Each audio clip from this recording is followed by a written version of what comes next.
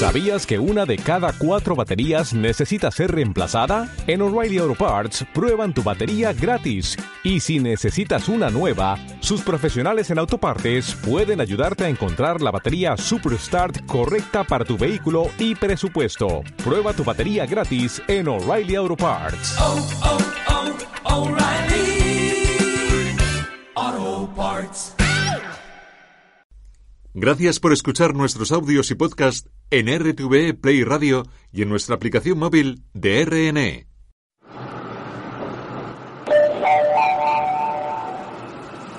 Atención, lo que vas a escuchar ahora es completamente cierto.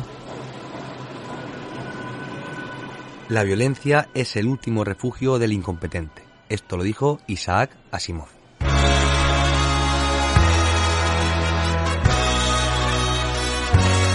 Raíz de 5, el programa más hipotenusa de la radio.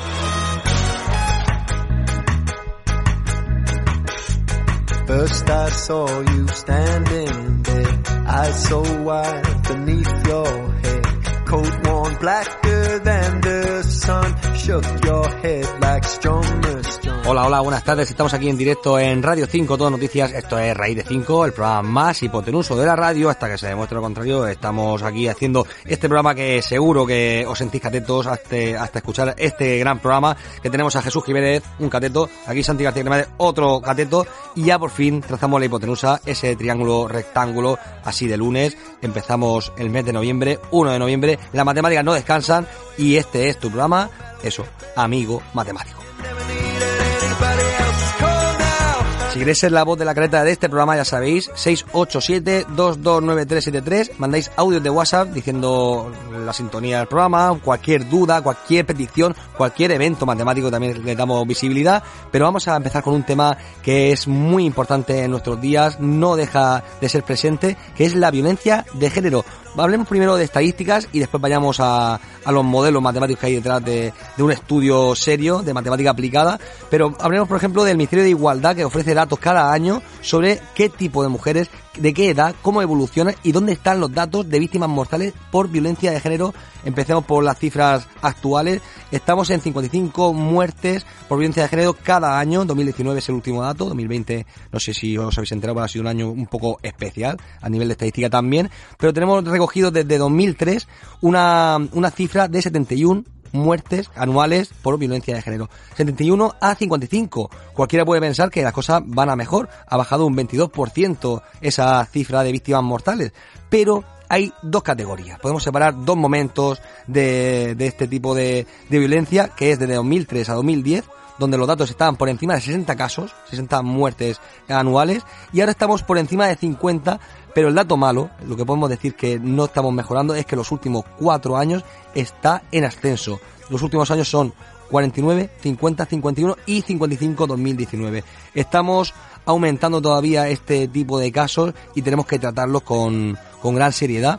Vamos a hablar de qué tipo de personas sufren violencia de género hasta causar la muerte, en este caso que estamos tratando. 73% de casos son en pareja, 66% convivían y tenemos 11 de cada 55 con denuncias previas. Sí, el 20% ya tenía una denuncia previa, por tanto, el 80% no tenían esa denuncia. Ya sabéis, el 016 es el teléfono de atención a las víctimas. También del total de 55 casos tenemos un 24% en Andalucía, 16% en Cataluña, 15% en Canarias, Comunidad Valenciana y Madrid tienen 13% del total de los casos, o sea que solamente con estas cinco comunidades tenemos el 80% de las víctimas de violencia de género a nivel mortal. Otro dato, el 40% de las mujeres tenían entre 41 y 50 años y casi la mitad de los agresores también tenían esta franja de edad. Vamos a hablar ya con alguien experto, no solamente en estadísticas básicas que estamos hablando, sino en modelos matemáticos. Hablemos con Ángel González Prieto, investigador postdoctoral de la Universidad Autónoma de Madrid, premio Vicente Caselles de la Fundación BBVA y la Real Sociedad Matemática Española 2021. Uno de los mejores jóvenes matemáticos de nuestros tiempos.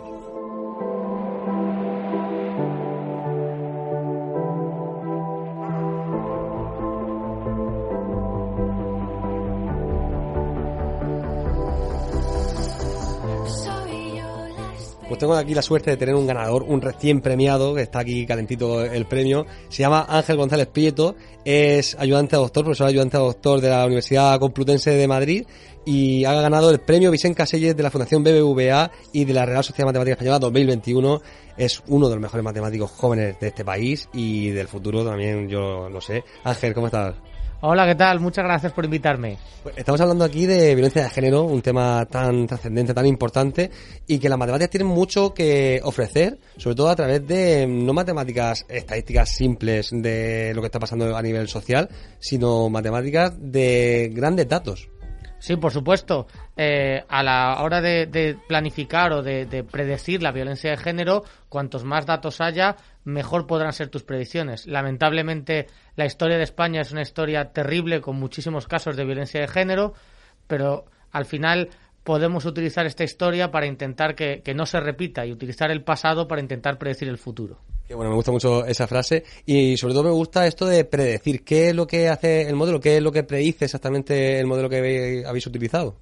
Pues lo que, lo que intentamos hacer es cuando, cuando una mujer sufre una agresión machista y, acude a denunciarla, pues eh, el policía a cargo toma una serie de datos de las circunstancias que rodean al caso.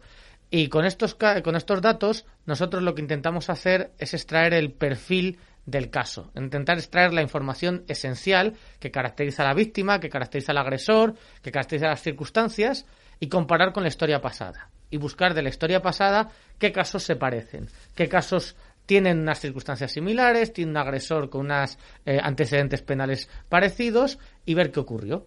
Y eso es lo que intenta hacer el sistema de Machine Learning, es utilizar estos datos pasados para extraer los patrones y decir, bueno, si este caso se parece a este, este y este, y estos casos lamentablemente tuvieron un, final que entró en una espiral de violencia y se repitió durante mucho tiempo, hay que cortarlo. Hay que poner medidas policiales inmediatamente para que esto no se repita. Y eso es lo que intenta hacer nuestro modelo. Exactamente, hay un montón de parámetros, entiendo. Hay unos 60.000 casos cada año de, de denuncias y de casos de violencia de género. Entonces, estamos hablando de muchísimos datos. Vamos a decir que es Big Data ya. ¿no? Enseguida vamos a definirlo como, ¿vale? Esto es Big Data. Y eh, entiendo que esto ya se está utilizando a través de datos biométricos, que es lo que está comentando. Biogen, creo que se llama la base de datos. Esto es público. Se puede eh, ayudar directamente a la policía a través de esta, estos modelos. Eh, actualmente existe un sistema de, de predicción que se llama Biogen, eh, que lleva implementado desde creo que es aproximadamente el 2005. Y este sistema actualmente da una predicción, pero una predicción utilizando métodos del 2005. Es decir, los métodos psicométricos que se conocían entonces, los métodos punteros de entonces, son los que están implementados en Biogen. Pero ahora, eh, en los nuevos tiempos, ha, surgido la inteligencia artificial, hemos vivido una revolución de, Machine Learning y lo que estamos haciendo es implementar estos nuevos métodos. Eh, actualmente el, el, sistema se encuentra listo para ser usado. Nosotros lo tenemos implementado en nuestro ordenador, eh, lo, hemos, lo hemos ejecutado para ver qué resultados da, da unos resultados muy prometedores y estamos pendientes de que la publicación que hemos mandado a revisión por pares a revistas al final salga. Y cuando esta publicación ya tenga el sello de la comunidad científica, pues lo que habrá que hacer es ir a, implementarlo a gran escala en Biogen. Pero eso ya es un problema no solo científico, sino también ingenieril, porque tienes eh, Biogen es un sistema que se está ejecutando en paralelo en todos los ordenadores de todas las comisarías de España y necesitas mover un modelo matemático en todas ellas y que se ejecute síncronamente. Ese es el, el, gran problema ingenieril que habrá que afrontar después. Pero por ahora, simplemente conseguir la, la certificación de los colegas. Que bueno, esto ya es el siguiente paso, pero de momento sabemos que la predicción mejora un 10-15%, ¿es posible? Exacto. Uh, nuestras, nuestras simulaciones eh, dicen que va a mejorar entre un 10 y un 15% los resultados del, del, sistema anterior, precisamente porque lo que hacemos es ver lo que el ojo humano no puede ver, que es eh, tenemos 60.000 casos activos eh, de violencia de género en España al año. eh, desde el 2005 son muchísimos casos. Un humano no puede abarcar toda esa información, pero la inteligencia artificial puede, y es lo que hace, mirar toda esa historia. Que bueno, estamos hablando de, de 6.000 casos más detectados con, acierto gracias a, a, la matemática. Vamos a saltar de, concepto, vamos a irnos a, Netflix, que todo, todos lo conocemos, el, el, algoritmo de Netflix te recomienda lo que vas a ver. ¿Qué has trabajado tú en Netflix, tus investigaciones? Bueno, pues yo trabajo en un, en un área que se llama sistemas de recomendación. Y la idea de los sistemas de recomendación es lo que prometen, recomendarte cosas. Tú eres un consumidor y a ti te interesa eh, a- atacar a un consumible de una enorme cantidad de posibilidades. Por ejemplo, Netflix. Tú te sientas en el sofá y te gustaría ver una película. Pues lo que hacen los sistemas de recomendación es ordenar toda esa información. En cierto sentido, se parece a la, a la investigación que hemos hecho en Biogen, porque lo que hace es, es extraer el patrón comportamental del individuo y decir, ah, mira, a ti te gustan este tipo de películas, pues te tengo que recomendar esta, esta y esta. Y eso es lo que trabajamos. Recomendar, pero igual que se recomiendan películas, se pueden recomendar libros, se pueden recomendar artículos que comprar en Amazon o se pueden recomendar tratamientos médicos. Estamos en el mundo de los algoritmos, que esto está muy, muy famoso hoy en día. Pero esto nació de, un premio que tiene Netflix, el propio, la propia plataforma, se llama Netflix Prize, ¿puede ser? Exactamente, es un, un premio que Netflix hace algunos años eh, propuso para intentar incentivar esta, esta área de investigación que aunque existía estaba bastante incipiente. Y gracias a este premio, pues los, los investigadores se interesaron por estos problemas, se dieron cuenta que eran problemas muy interesantes y aparecieron técnicas ad hoc para trabajarlos. Antes se trabajaban como un problema estándar de, de- inteligencia artificial, se dieron cuenta que tenía una serie de particularidades que podía ser tratado de una manera distinta, con unos algoritmos distintos, con unas matemáticas distintas y obtener mejores resultados. Y eso ha dado lugar al, al florecimiento de los sistemas de recomendación que además ahora... eh, Desgraciadamente, con la pandemia, pues al final todos hemos eh, recurrido a Netflix, hemos recurrido a Amazon y entonces están totalmente en boga. Sí, sí, ahorramos tiempo con esas recomendaciones y nos ayudan a, a elegir mm, óptimamente, por lo menos. Y me gustaría terminar con una parte de tu discurso que me gustó mucho en la Fundación BBVA cuando estuvimos ahí celebrando el premio Vicente Caseller. Lo Vamos que a me parece muy importante de estos premios es su existencia. Porque gracias a estos premios, periódicamente las matemáticas salen al conocimiento público, se da a conocer que hay jóvenes con gran capacidad que pueden realizar investigaciones punteras en matemáticas y un poquito permea toda esta investigación que, que intentamos hacer eh, día a día. Y aquí me gusta que, que recomiendas dos cosas. Una, la importancia de los premios mm, a, a los matemáticos y a las matemáticas. Y también eh, la importancia de la ciencia básica. No solamente estamos hablando de ciencia aplicada, pero la importancia de hacer ciencia básica que nunca se sabe qué investigación o qué descubrimiento habrá en el futuro. Eso me, ha- me ha gustado mucho.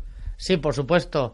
Eh, es muy importante remarcar que no existe la ciencia aplicada sin la ciencia básica. La ciencia básica sienta eh, los cimientos de todo el conocimiento. Eh, se encarga de, de entender problemas que nunca nadie se ha planteado antes. Entonces, al final, con la ciencia básica, lo que te construye son herramientas. A mí me gusta decir que te entrenas. Escoges un problema difícil y te entrenas construyendo herramientas, construyendo técnicas, construyendo algoritmos y una vez que esos algoritmos, esas, esa metodología existe, está muy, muy difundida entre toda la comunidad, alguien puede pasar de- eh, décadas, pueden pasar siglos, pero en algún momento alguien puede decir, oye, esto que estábamos utilizando aquí en teoría de números, pues ahora resulta que es importante para ordenadores cuánticos. Y de repente ese, esa pieza de conocimiento, que no era más que un entrenamiento mental eh, extremadamente satisfactorio, y a mí me encanta hacer la investigación básica, pero no deja de ser una investigación por curiosidad, por, por querer entender el mundo, pues de repente, ¡ay! Resulta que esto es la pieza fundamental para comprender el ordenador cuántico. Ángel, ya amigo del programa de Rey de 5, muchas gracias y enhorabuena y qué suerte tiene la Universidad Complutense y tus alumnos de tenerte ahí como profesor y como gran matemático. Muchísimas gracias a ti por invitarme. Muchas gracias.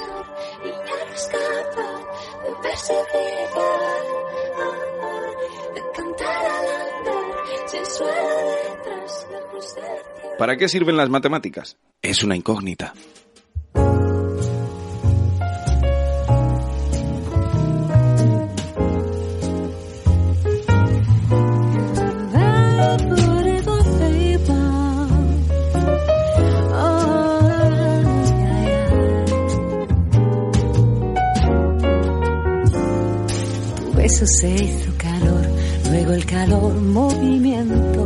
Aquí cada semana nos transformamos con Ana Valles, que nos trae información de la buena, información de calidad, estadística. Gracias a la Unidad de Cultura Científica de la Universidad de Valencia, la tenemos aquí cada semana y esta semana es que es algo imperativo que ella nos dé una luz. Ana, ¿cómo estás? Muy bien. ¿Qué tal? ¿Todo por ahí? Bien, estamos de fiesta, pero aquí no descansamos porque las matemáticas no pueden descansar. Ya sabes que como somos de verdades absolutas Nunca, y estas nunca. cosas, nunca, nunca. Buah, pues es que has elegido un tema de estos que dan miedo Sí. y que por desgracia es muy real, ¿eh? Sí, sí, sí, una realidad, es constante esa realidad, de hecho no, como estábamos hablando, la evolución no deja de, de estar en alza, no es un tema que, que estemos haciendo desaparecer, así que a ver si le damos un poco de, información a, todo el mundo para, para ver qué pasa. Para intentar abordarlo. Pues sí, es un tema que también se aborda desde la estadística y en concreto, pues quería traerte un estudio que ha publicado un grupo de investigadores e investigadoras de la Universidad de Valencia, entre quienes están Enrique García, Miriam Marco, Marisol Lila y mi compañero de departamento y de grupo de investigación, Antonio López Quiles, y se ha publicado en la revista Preventive Medicine. Qué bueno, por eso de, de prevenir, que es mejor que curar, ¿no? Siempre, siempre. Prevenir mejor que curar. Bueno, pues eso. Entonces, bueno, la cuestión es que se trata de un estudio ecológico, longitudinal y espacial. Ostras, espérate. Eh, longitudinal es porque se realiza eh, un seguimiento en el tiempo. Hasta ahí, bien. Efectivamente. De hecho, se recogen datos entre 2011 y 2018. Vale, vale. Pero eh, has dicho ecológico y espacial, con A. Espacial, no especial. Es, no especial, especial también. Es especial. eh, todos los estudios son especiales, no, pero es espacial. Porque, mira, un estudio ecológico es aquel en el que se estudian las variables de manera agregada. Es decir, no observamos persona a persona, sino que tenemos variables resumidas para un área concreta. ¿Vale? Y en cuanto al espacial, se trata de incorporar al estudio esa idea de que lugares que están más cerca pues van a tender a parecerse más que lugares que están más alejados. Además, lo mejor del análisis para mí es que se usa la metodología bayesiana. Vallesiana, ah, Para ya estamos. Como barremos para casa cuando, cuando podemos. Como te gusta, lo, lo vallesiano. siempre, siempre. bueno, ya lo sabes, ¿qué te voy a decir? Pero bueno, venga, vamos al estudio tal cual, ¿vale? La cuestión es que se recogieron variables que lo que medían era el nivel socioeconómico, así como la presencia y la persistencia de la violencia de género en distintos barrios de la ciudad de Valencia. Ah, ¿Y cuáles fueron las conclusiones del estudio? Pues lamentablemente no te van a sorprender. Se mostraba que los barrios desfavore- desfavorecidos, esos que están caracterizados por niveles bajos de ingresos, de educación y altos niveles de inestabilidad residencial y de criminalidad, pues esos tenían un riesgo de violencia de género mayor y no solo mayor, sino que era un riesgo que persistía durante los ocho años que se analizaban. De 2011 a 2018. eh, hablamos de es- esa relación entre barrios socialmente desfavorecidos y alto riesgo de violencia de género, ¿vale? Eh, y este estudio, eh, concretamente, puede servir, pod- podría ayudar a la prevención de la violencia de género. Pues el estudio tiene, como, o sea, son como dos cosas en las que nos puede ayudar. Por una parte, eh, y esto es en palabras de quienes han realizado la investigación, pues va a tener la capacidad para detectar estos patrones que tiene implicaciones al final en, en las políticas públicas de prevención de la violencia de género, ya que esta información puede utilizarse para detectar y para reducir el riesgo y la persistencia en el tiempo. Pero es que además eh, el tener en cuenta cuál es el marco, qué es lo que está pasando, pues también puede ayudar a evaluar las políticas que se toman, las decisiones que se toman. Es decir, yo tomo una decisión, introduzco una nueva medida, pues eso va a hacer que mm, cambie algo. Y yo puedo compararlo con lo que acaban de estudiar en este, en este estudio.